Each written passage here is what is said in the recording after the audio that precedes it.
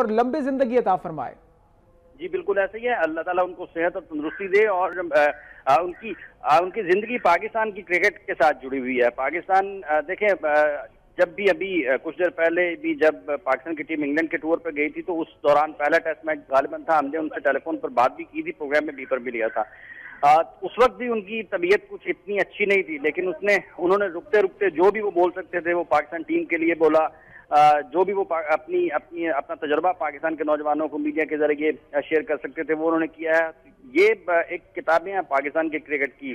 तारीख की किताबें हैं और ये जितना अरसा हमारे साथ रहे वो हमारी खुशबी है, जितना लंबी उम्र ये पाकिस्तान में गुजारें, उतना हमारी खुशबख्ती है खुश, खुशकिस्मती है कि हम उनके बारे में बोलते हैं, हमारी खुशकिस्मती है कि हम उनको देखते हैं, हमारी खुशकिस्मती है कि हम उनके रिकॉर्ड शेयर करते हैं दुनिया के साथ।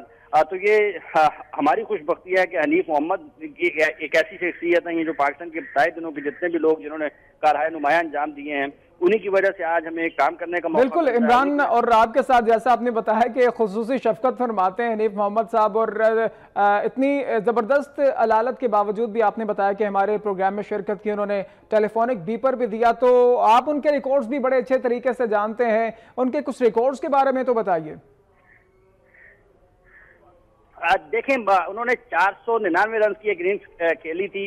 जो फ़र्स्ट क्लास क्रिकेट में सबसे बड़े इनिंग्स का रिकॉर्ड था जिसको बाद में ब्रायन लारा ने 501 रन बनाकर तोड़ा था और उसके बाद तीन सौ सैंतीस रन की इनिंग्स जो उन्होंने, वो लंबी ट्रेनिंग इनिंग्स कहा जाता है, वो उन्होंने तीन सौ सैंतीस रन की इनिंग्स के खेली पाकिस्तान के लिए। पाकिस्तान के लिए वो पहली ट्रिपल सेंचुरी थी जो उन्होंने स्कोर की। उसके बाद इंजमाम ने भी ट्रिपल सेंचुरी स्कोर की है यूनुस ने भी ट्रिपल सेंचुरी स्कोर की है लेकिन जो ट्रिपल सेंचुरी जिस जो एजाज और जो मकाम और जो मरतबा हनीब मोहम्मद की ट्रिपल सेंचुरी को मिला है वो पाकिस्तान के इन तमाम बल्लेबाजों के साथ साथ दुनिया के जितने भी ग्रेट्स गुजरे हैं उनकी ट्रिपल सेंचुरी को उससे बेहतर नहीं करदाना जाता है। अच्छा इमरान उस, उस शानदार इनिंग के बारे में भी बताइए। तीन सौ सैंतीस रन की एक शानदार इनिंग खेली हनीफ मोहम्मद ने और उसी एक शानदार और आज तक बल्कि हमेशा वो इनिंग याद रखी जाएगी जिसके बाद हनीफ साहब को लिटिल मास्टर का खिताब दिया गया था।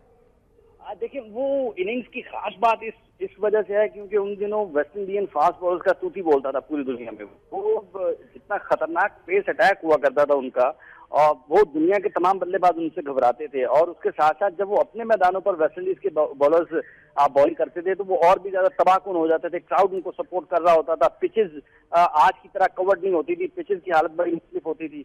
तो वेस्ट इंडीज के खिलाफ वेस्ट इंडीज में ट्रिपल सेंचुरी स्कोर करना और फिर नामसाद हालात में करना फिर जब आज तो बैट्समैन जब बैटिंग के लिए जाता है क्रीज तो उसने पूरा हिफाजती सामान पहना होता है उसने एल्बो पहने होते हैं उसने हेलमेट पहना होता है उसने पैड्स पहने होते हैं और अब जबकि पिछले हेलमेट के पीछे पैड होते हैं तो आपको कहीं भी बॉल लगने का खतरा आजकल आजकल की क्रिकेट में बहुत कम होता है लेकिन उन दिनों क्रिकेट मुश्किल थी पिचेस कवर्ड नहीं होती थी आज पिचेस कवर्ड होती हैं। तो पिचेस कवर्ड नहीं होती थी तो अनइवन बाउंस होता था फिर कैमराज नहीं होते थे अंपायर अपनी टीम के बॉलर को सपोर्ट करते बिल्कुल इमरान हनीफ साहब के बारे में ये एक ये भी ख्याल है कि जिस जमाने में हनीफ साहब क्रिकेट खेला करते थे क्रिकेट तो बड़ी शानदार होती थी क्रिकेट की बुनियादें उस दौर में पड़ी हैं।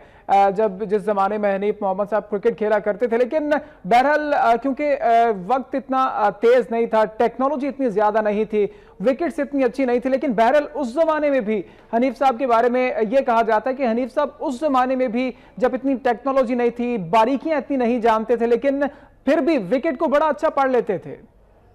आ, इसमें कोई दो राय नहीं है कि पिच रीडिंग एक आर्ट था और ये हर खिलाड़ी का काम नहीं है। पिच रीडिंग हर खिलाड़ी का काम नहीं है। और हनीफ मोहम्मद इमरान शुक्रिया आपका आपने इस हवाले से हमारे साथ बात की। हनीफ मोहम्मद